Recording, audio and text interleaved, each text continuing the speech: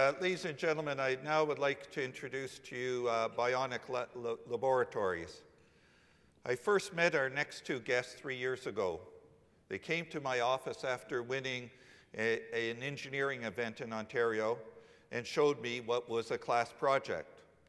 It was a mechanical prosthetic arm controlled by nothing more than the user's own brain waves.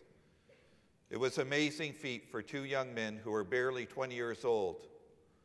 Now their company, Bionik Labs, employs 14 engineers and is already planning its first IPO.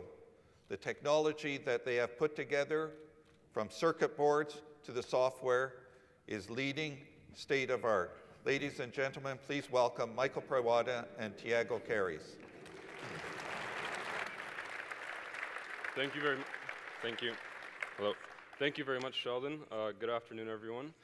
Uh, my name is Michael. I'm one of the co-founders of Bionik Laboratories. Uh, I'm really glad that Sheldon mentioned the, the prosthetic technology development because that's actually where our roots started. Uh, myself and Thiago, we were in the biomedical engineering program at Ryerson University. And we, we, we kind of had this sim very similar interests. And, and we, when we got together to think about ideas and what we could do, we, we had this crazy idea to, to develop something that was, was, was like, uh, the, sorry. Um, the US had spent over $80 million developing a very similar technology, and, and two young guys out of university, um, pe pe people looked at us and they're like, how can, how can two young guys do it? Well, um, we did it. And actually, I was, I, was, I was very happy to hear that Seamus is here because he was actually one of our first test pilots, and uh, he, he showed it to the world on, on Discovery Channel. Um, and so we got worldwide recognition for, for, for what we did, and, and we kind of built up our confidence. And so we, we looked at gaps, we, we were looking for gaps in, in the medical market. And, and what we found was that there was no technology currently available to get paralyzed people walking. So what, what we found was we had two options. Option number one was, uh, and there's nothing wrong with, with this option, but option number one was we could finish our bachelor degrees do a master's, uh, maybe do a PhD, maybe do a postdoc. Uh, after finding a, a, tenured track position um, at a university, uh, maybe after applying for grants six, seven, or eight times, we could, we could fund to do, like we could get the grants to do what we wanted to do. Or we can start a company. That's when we founded Bionik Laboratories. Um, it's, it's, it's been a tough road, uh, but because uh, our competitors had already spent uh, over a decade trying to do the same thing and tens of millions of dollars doing it. Um, to date, we've spent $1.5 million and we have achieved what our competitors have achieved. Um, I'd like to introduce to you um, Thiago Caires. He's uh, my co-founder in Bionik Laboratories, and he's going to talk to you about what we've developed. Thank you, Sheldon. Thank you, Michael. So Michael talked about rehabilitation spinal cord injury, which is basically the device that I have here. Uh, there's a video you can see, the leg is working while I speak. But basically, Bionik Laboratories focus on developing technology to help paraplegics get out of the chair, walk, and rehabilitate.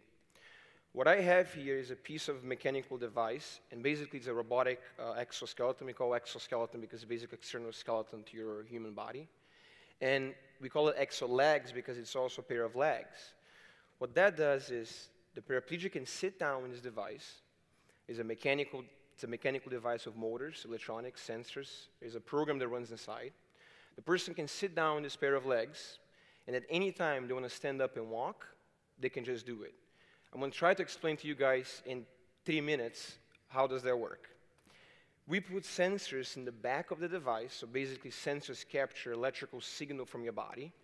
There are sensors on the side of the legs and in the feet.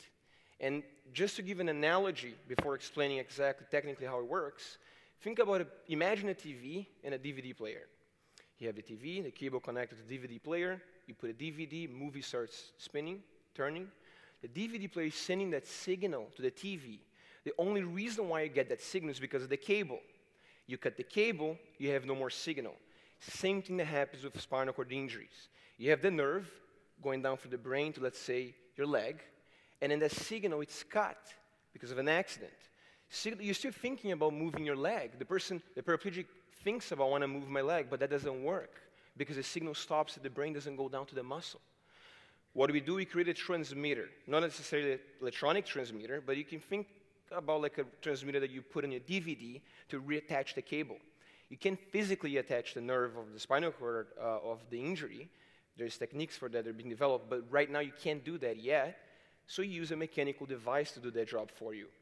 This mechanical device, as I said, has sensors in the back and all over the device, and they pick uh, signal, signal activity from the back and the shoulders of the patient.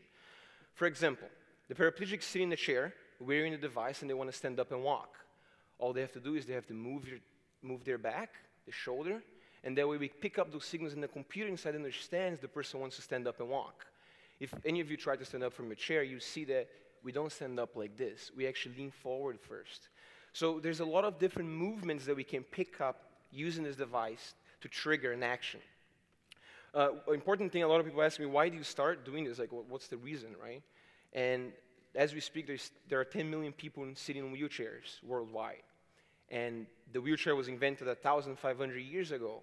Nothing after that has been developed to help paraplegics.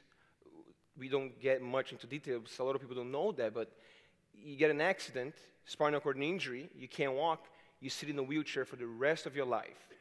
You, even if you have money to pay for the device, even if you go to the best hospital, you can't get it because it's just not there. This can, it's an option. It's not, we're not replacing the wheelchair, but it is an option for paraplegics to use the device to stand up, get back to society, increase the self-esteem, and of course, the rehabilitation aspect of this is huge. Because rehabilitation nowadays is done as a very archaic procedure. Patient goes to a clinic, the doctor holds the leg, moves up and down. As the muscle moves, you're getting the rehabilitation. It's kind of like exercise. The more you do it, the better you get. This will allow the person to just walk around their house. They, they're going from their room to the washroom to the kitchen. They're rehabilitating because this will allow them to move their leg. And as they're moving, the muscle is moving, neuroplasticity comes into place, which is basically the brain understanding that the muscle is there, and they can walk again.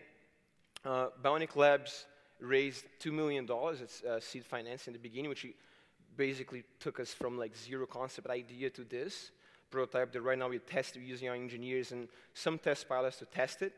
Uh, we didn't go into a formal clinical trial yet because we're going to do that in the year. And we are planning on doing an IPO in 2014. My timing is running out, but I would like to answer any other questions afterwards. Thank you.